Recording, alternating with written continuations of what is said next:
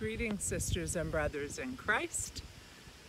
The title of our message this day is God's Love Song to You. And let us pray.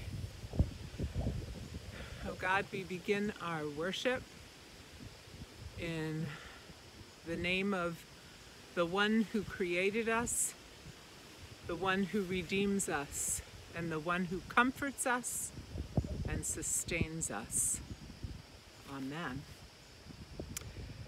And so, sisters and brothers, our first reading for this day is very connected to the gospel, so we will hear it. It is from the book of the prophet Isaiah, the fifth chapter, verses 1 through 7.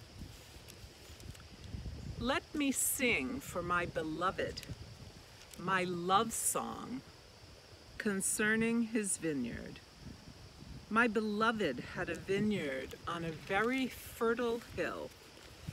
He dug it and cleared it of stones and planted it with choice vines. He built a watchtower in the midst of it and hewed out a wine vat in it. He expected it to yield grapes, but it yielded sour grapes. And now, inhabitants of Jerusalem and people of Judah, judge between me and my vineyard. What more was there to do for my vineyard that I have not done for it? When I expected it to yield grapes, why did it yield wild, sour grapes? And now I will tell you what I will do to my vineyard. I will remove its hedge and it shall be devoured. I will break down its wall, and it shall be trampled down. I will make it a waste. It shall not be pruned or hoed, and it shall be overgrown with briars and thorns. I will also command the clouds that they rain no rain upon it. For the vineyard of the Lord of hosts is the house of Israel, and the people of Judah are God's pleasant planting. God expected justice but saw bloodshed, righteousness but heard a cry. Here ends our first reading. And our gospel parallels this. Uh, our holy gospel for this day is according to St. Matthew, chapter 21. Listen to another parable, Jesus says. There was a landowner who planted a vineyard, put a fence around it, dug a wine press in it, and built a watchtower. Then he leased it to tenants and went to another country. When the harvest time had come, he sent his slaves to the tenants to collect his produce. But the tenants seized his slaves and beat one, killed another, and stoned another. Again, he sent other servants more than the first, and they treated them in the same way. Finally, he sent his son sent his son to them, saying, They will respect my son. But when the tenants saw the son, they said to themselves, This is the heir. Come, let us kill him and get his inheritance.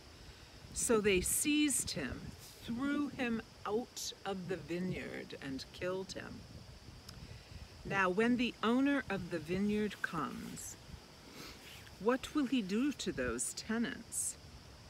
They said to him, He will put those wretches to a miserable death and lease the vineyard to other tenants who will give him the produce of the harvest at the harvest time. Jesus said to them, Have you never read in the scriptures, the stone that the builders rejected has become the cornerstone? This was the Lord's doing, and it is amazing in our eyes. Therefore I tell you, the kingdom of God will be taken away from you and given to a people that produces the fruits of the kingdom. The one who falls on this stone will be broken to pieces, and it will crush anyone on whom it falls. When the chief priests and the Pharisees heard his parables, they realized that he was speaking about them. They wanted to arrest him, but they feared the crowds because they regarded him as a prophet. The Gospel of our Lord. Thanks be to God. Amen. And now let us pray. Now may the words of my mouth and the meditations of all of our hearts be acceptable in thy sight.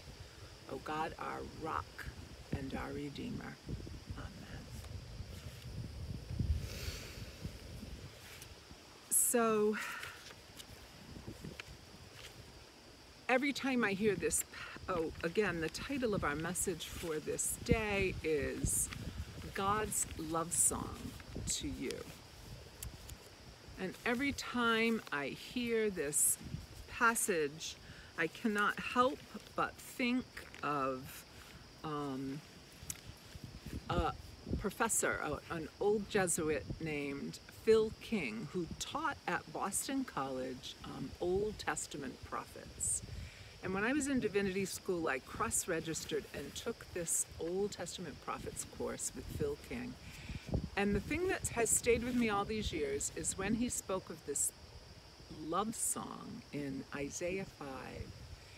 He said, you know, most of Jewish um, verse is chanted or sung, and that was a way people could um, carry it with them. And, and also, we remember the words so much better when we sing them, right? So he said this probably truly was a song, a love song from God to the people of God, from God to you and to me.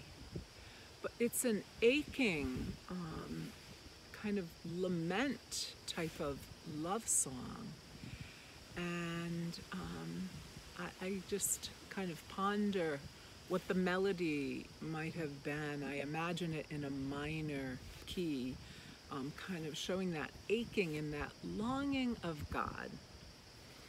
Because it says God created us, right, to um, to live our lives fully, bearing fruit in this world, being the people God created us to be, being that light to the nations, that light to all people. And um, and and in this parable, this love song, right? The world is the vineyard, and God is the the one who tends to this vineyard and who did everything in God's power to to pick the choicest fruits, you know, to pick the very best strains of vines and to plant it and cultivated and protected with this fence and a watchtower and all of this did everything. What more, it says, could God do than what God did? And when God looked for us to bear fruit like these luscious um, grapes to bring joy and life to others, Instead, it says we yielded sour grapes, sour grapes. Think of someone you love who, you know, as a parent, of course, I think of my three children, but think of someone you love who, you know, that, um, that you would do anything, absolutely anything for, and, and how you've tried to give them every opportunity to to grow and thrive and succeed and to you know shine their light in this world and think of the aching longing you feel when they go down the wrong path and when they just do not bear that fruit and live their lives to the fullest so this is a love song about that. And then it says, so what more can I do? God says, and it says, I tell you what I do. I will remove the hedge. I will let the wall be trampled down. I, it, it will not be pruned or hoed. It shall become overgrown with briars and thorns. And that is why I'm sitting in this spot. Um, I don't know what they call this spot in the day of its fullness, right? But this spot, these ruins, we just call them the ruins. Uh, they're condemned. There's a, a half, a fence half hanging.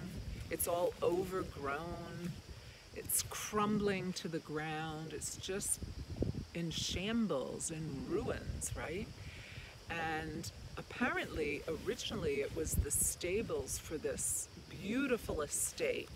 And still today, it's it's in one of the most beautiful spots in all of Newport, right on Brenton Point. Right in the other direction, that direction is Brenton Point where, where cars sit to watch the sunset every day. And right here, um, where there are beautiful walking paths, are these ruins, these shambles. But if we're truthful, we can think of people whose lives are like this, who, who, you know, had have such potential and such talents and such gifts, but whose whose lives have just crumbled and turned into shambles. And indeed, when we know people like that in our lives, our hearts ache and we can hear that aching longing and God's love song to them, perhaps to you this day. Now, Jesus, um, I never thought of this back when I was in divinity school, but when Jesus in today's parable sings, speaks of this vineyard and this vineyard owner who planted this beautiful vineyard and put a hedge around it and a watchtower and all of that. His audience, especially in this Gospel of Matthew, the audience, um, it's Jews who had become Christian. So the audience would um, be this love song from Isaiah 5 would immediately come to their minds when they heard this parable that Jesus was telling about the vineyard. But Jesus gives it a new twist because this parable, this comes right after the Palm Sunday story. So this, um, Jesus tells this parable during Holy Week. He is very soon, just later this very week, he will be crucified.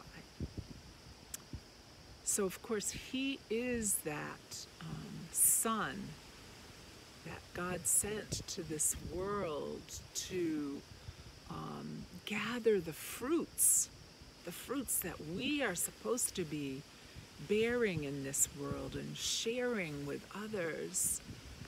And, and Jesus, I'm sure, at, at the end of his life in ministry, is also aching and longing for those he loves, for you, for me, to to get it and to stop living in, in, in this broken shambles and to be those choice vines bearing fruit in this world that God longs for us to bear.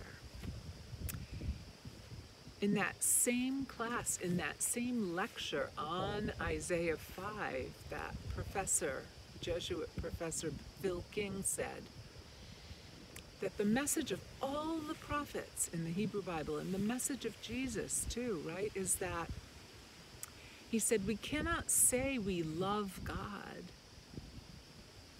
and treat other people like crap. That's exactly what Phil King said, and I was shocked that he would even use the word crap.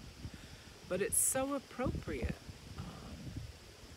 and he said, you know, God desires um, fruit, good, healthy grapes of life, and you have yielded sour grapes.